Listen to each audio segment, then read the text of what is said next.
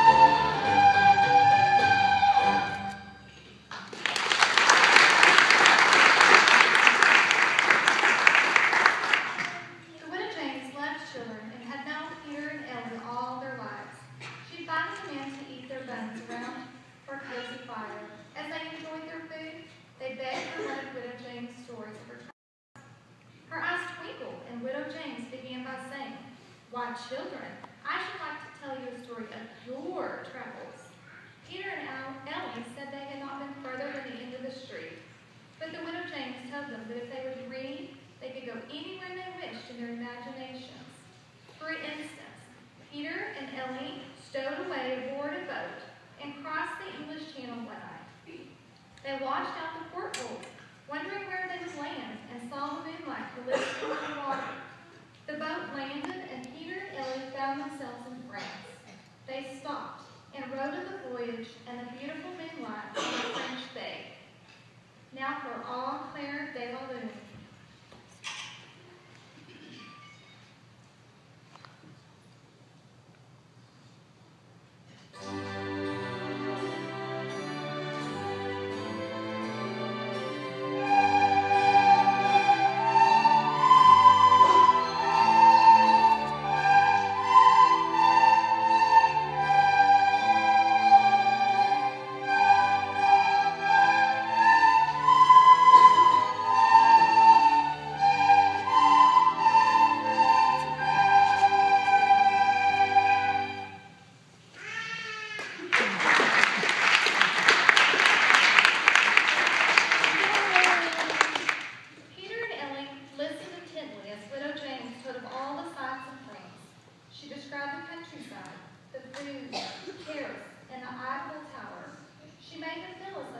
Right there.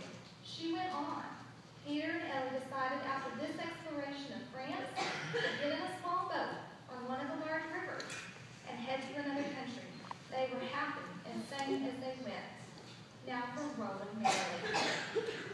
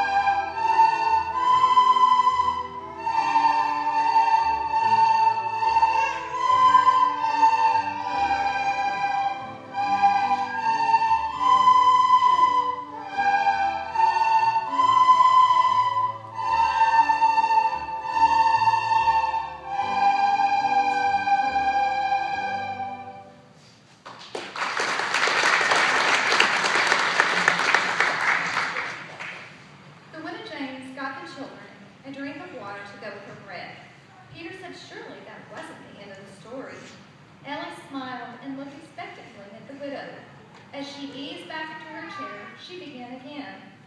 Well, those children woke up refreshed and took a train ride, a short train ride to Austria. It was a beautiful country with wildflowers and mountains. Peter and Ellie visited farms and went into the city to a concert. They visited places Beethoven had lived and heard one of Beethoven's symphonies. Now for an excerpt from Symphony Number no. 7.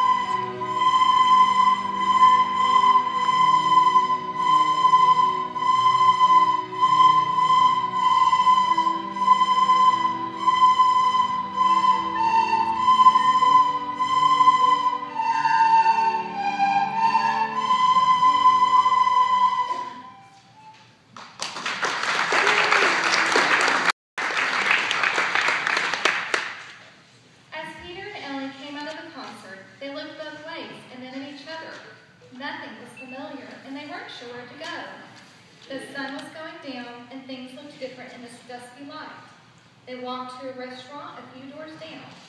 Ellie was too shy to ask, but Peter stepped up to the hostess and got directions to the train station. She was very nice and gave them a basket of food for their journey. Peter carried the basket, and Ellie studied the directions and made sure they made it to the train station. She was very good with reading and math.